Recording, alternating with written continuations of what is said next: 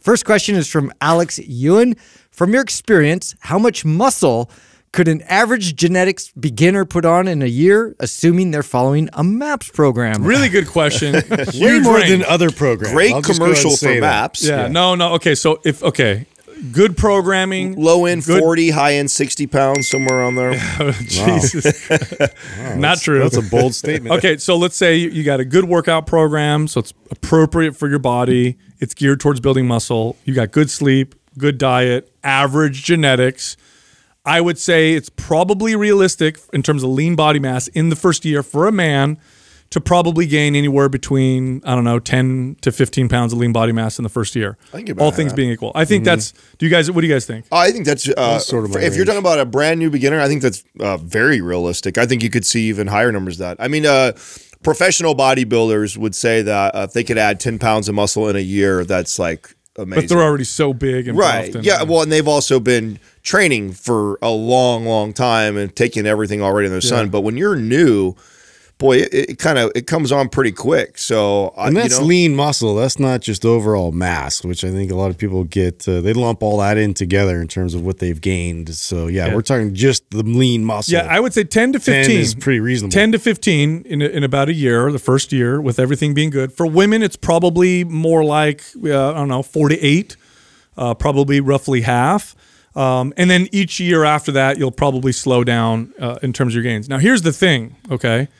All things being equal, boy, is there a wide variance in genetics. So I've, I know people that have gained 30 pounds of lean body mass their first year of training, and these are just genetic Yeah, they're just freaks. freaks, yeah. And then I know other people where it's like five, and he got, you know, men, where it's like four pounds of lean body mass in a year Yeah. in that first year is really, really challenging.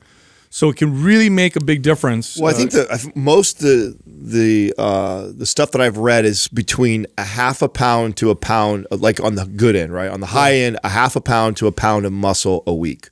If everything is dialed in, a and- week. yeah. Oh my God, that would Well, be. that's that's two pounds a month, Well, two to four pounds a month. That's what you just said. Forty eight would be primo for fifty six weeks, but the real reality of that's not. then maybe initially, right? Yeah, yeah, right. So, and that's, I mean, again, that's the high end, uh, what someone could potentially anticipate. Well, I think there's also that novel sort of window if you're a beginner, right? You get those sort of new gains uh, for the first few weeks, for first few months, and you can kind of like you know get a real good jump start. I It's, would all, it's all relative to, to But it depends on genetics, your actual size already too. So someone Yeah. who is a 200 pound man uh, could gain uh, 20 pounds and it's not that big of a deal. A That's guy, 10%, right? Yeah, exactly. A guy who's 100, 120 pounds, uh, total different story. So I mean, it, you're, it depends on the size, depends on the genetics. Yeah, so yeah. there is a wide variance here, but you could put on a decent amount of muscle in. I know as a, as a young lifter, I know there was there, at least a, a year there where I had a good ten to fifteen pound, you know, gain in a. in What a was your best year? Probably something like that. Yeah, Yeah, me too. probably something ten to fifteen pounds. My best year was- not non anabolics, right? So like obviously I've had Mm-hmm. bigger jumps when I was on steroids, but uh, naturally, yeah, probably ten to fifteen pounds. Mine was would when I was 16, and I gained like over the summer. I gained about uh, on the scale 14 pounds. I don't know if Yeah. that was. I'm sure it wasn't all lean body mass, but that was over a summer. As a 16 year old kid, I got stretch marks in my legs and in my armpits. But it's uh, genetics play a big role, and also when you're a beginner, the muscle gains kind of look like this. It's almost like a bell curve. At first, your strength goes up quite quickly, but you don't gain muscle very quickly. And that's from central nervous system adaptation. And you're learning the exercises. Yeah. You're learning how to do them properly. So you're not really able to maximize the benefit you get from them. So it starts off from a muscle gain perspective a bit slow, and then it ramps up. And then it kind of peaks, and then it starts to slow down again. So it's like if I got a new client that was otherwise healthy, you know, you know, in an, you know, let's say the age range of 20 to 40, and they're doing everything right. It's usually after the second month that we would start to see the muscle gains really start to to, to come on. You know, Well, don't you think though too, like they hit that inevitable sort of tapering off and plateau because they're not thinking ahead in terms of changing the stimulus up and, and you know the programming and addressing that.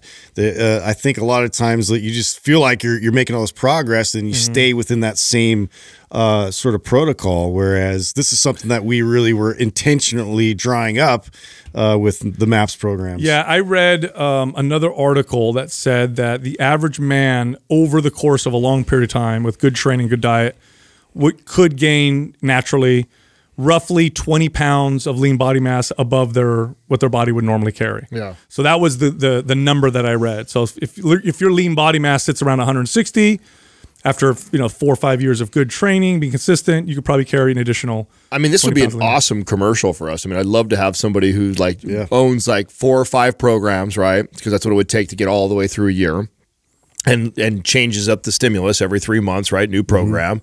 Stays tight on their diet and is a, a new lifter, and then reports back. Right, you do your body fat test before just to see kind of your baseline. Do something that's consistent, whatever one you decide to do, and then test at the end of the year. It'd be really interesting to see what that would be. I'd love to. Yeah, like a I'd love to lean hear somebody- muscle, uh, yeah, sort of competition. yeah, I, I think I think ten to fifteen is uh, very very likely. I think it's you'll see. I think it's realistic. it's Yeah. realistic. Yeah, it stays in reality. Okay, okay, likely is is hard because how many pe- beginners do you know for a Well, year? okay, yeah, but we're we're assuming that, right? Yes, we're yes. assuming they are uh, doing a calorie increase, right? We're assuming as they start to build, they it slowly continue to increase They got a good calories. workout program. right? They're well, they're following maps, right? They're following maps all the way through for an entire year. adequate recovery. They're yeah, they're uh, well, which it's built into the programming, right? So they're following maps perfectly for a whole entire year.